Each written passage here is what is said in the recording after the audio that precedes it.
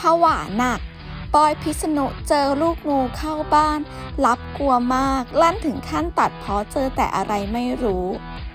เรียกว่ามีแต่เรื่องอะไรไม่รู้ มาทำให้ปวดหัว ถึงขั้นตัดเพอเลยทีเดียวค่ะสำหรับนักแสดงหนุ่มบอยพิษณุซึ่งก่อนหน้านี้ออกมาประกาศให้ผู้ที่ใกล้ชิดทราบว่า ตนและภรรยาสาวอแมนดาตรวจพบเชื้อโควิด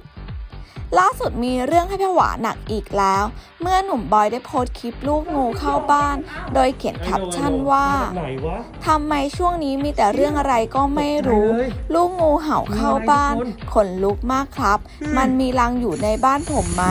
ใครมีความรู้บ้างครับ ปกติเป็นคนกลัวงูอยู่แล้ว มาเจอแบบนี้อีกระแวงหนักเลย มีวิธีหารังมันไหม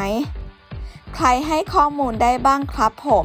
ซึ่งงานนี้ก็มีเพื่อนในวงการบันเทิงและแฟนคลับ ต่างเข้ามาแห่เป็นห่วงกันถล่มพร้อมแนะนำวิธีรับมือกับงูอีกด้วยจ้า